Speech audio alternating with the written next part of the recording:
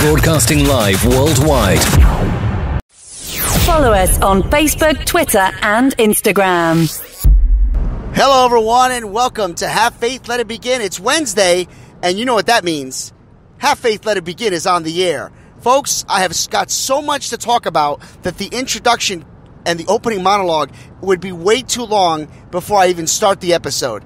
I just want to welcome you and tell you strap on your seatbelts, make sure your tray tables are in the upright positions. We're flying air, have faith, and it starts right now. Welcome to Have Faith. Let it begin. Here's your host, Angel Santana. Ariel, can you say have faith? Again. Let it begin? Again. Say have faith. Again. Let it begin. No, No? no.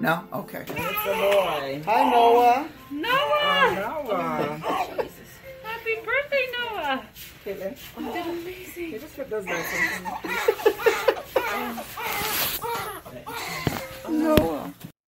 Good morning, everyone. Happy Wednesday. It's Have Faith, Let It Begin. My name is Angel, and welcome to another edition.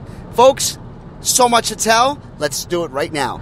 So, four days ago, as you may not have already known, I started my new weight loss journey, and I'm happy to announce that I am nine pounds down.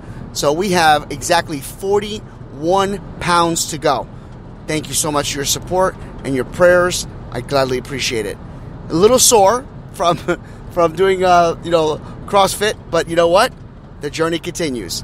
In addition, we also have our Have Faith Let It Begin jerseys and T-shirts. They have finally come in. I will be making sure I take a picture, putting it on our website, and on the very next episode, we will have a picture version of it. I cannot wait to share it with all of you. They have we have two versions, black and royal blue. I'm so excited. In addition to that, I had my procedure yesterday. Uh, for those of you that didn't know, I had my five year colonoscopy checkup. Everything looks great. Uh, we're just going to wait for further testing, but through and through, uh, no pun intended, they said it looked excellent. So, so much to talk about. And how do we even fit all that into an episode today? Well, it's quite very, very fitting that I wanted to talk about how great is our God. We're getting closer and closer to our Easter Sunday, and we are also getting close to Good Friday. Sometimes we think about all the things that have happened to our Lord and Savior and all the things that continue to happen to us. You know, yesterday I'm sitting in the chair waiting to get my IV put in, and I know that my my history of having IVs put in, sometimes they got to poke me a couple times before they find the vein. In this situation, I was pretty much dehydrated from doing all the prep work for the colonoscopy, and it was very difficult for the young lady to find the veins. So she tried my right arm, and no success. She went to my left wrist, no success. And I'm sitting there, and I'm think- and she's apologizing to me, saying, "I'm so sorry, I'm so sorry." And I to which I replied, I said, "Listen, it's okay. Don't worry. I forgive you." And she started laughing. And I'm sitting in the chair though, and I'm thinking about all that Jesus endures, all those nails, and being hung up on the cross. And here I am, maybe for about two seconds, feeling that little pinch, and somebody's apologizing for doing it. Yet, when they were doing that to him, there was no apologies. They were doing their job. They hung him up. We go through so much pain here on this world, in this earth, mentally, physically, sometimes verbally. And we don't stop to think about all that He did for us. So here's my challenge to all of you today. When you think you have it rough, when you're feeling that pain, when you're sitting there and wondering, when is it going to stop? Think about all that He has done. Think about in those moments when they stripped Him down, when they basically just strapped Him with leather straps, with hooks, and then they nailed Him to the cross. All that pain. And yet he was still asking for forgiveness to those that have done that to him. I learned a valuable lesson yesterday.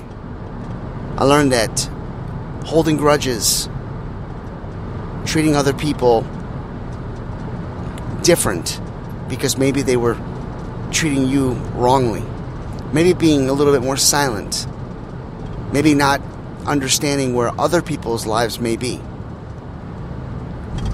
We have to be one and the same. We have to learn to love. We have to learn to forgive. We have to move forward. Because when we don't, they're not setting you back. You're setting yourself back. And you're not moving in the right direction. You know, a lot of times in the past, I've always mocked, and I'll be very honest, I've always mocked those individuals that have gone to church and said to me, if you don't do this, you're going to hell. If you don't do this, you're going this. And I've never been taught that. I've never been preached to that way, and I certainly would never say that to anybody because I don't believe in that type of verbiage. I don't believe in talking like that to others. But I will say that it's so important to try and learn to forgive and to love and to respect others.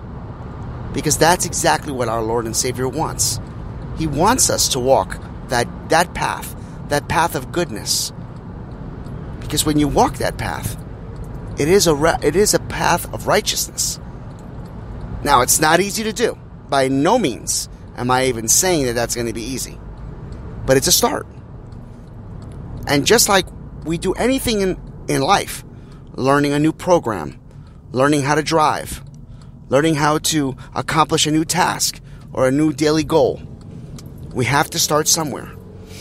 We're not perfect at it. But when we get there, we can do it with our eyes closed. Try your best to forgive. Try to understand others. Because that's what God intended us to do. So today, on this glorious day, may God be with each and every one of you.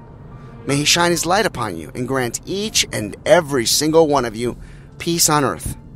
I'd like to also give a shout out to all my fellow telemarketers and all of my customer service representatives because this week is National Telecommunications Week.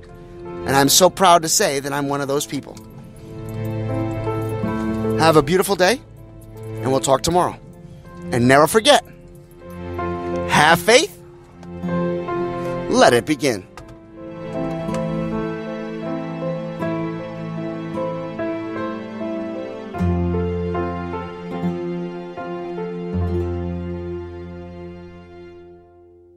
Thank you for listening to another episode of Have Faith, Let It Begin.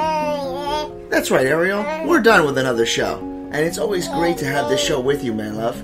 You know, we're going to encourage each and every person to listen to our show every single weekday. That's right, you and I are going to help change the world. Do you think that you can do that for me? Huh?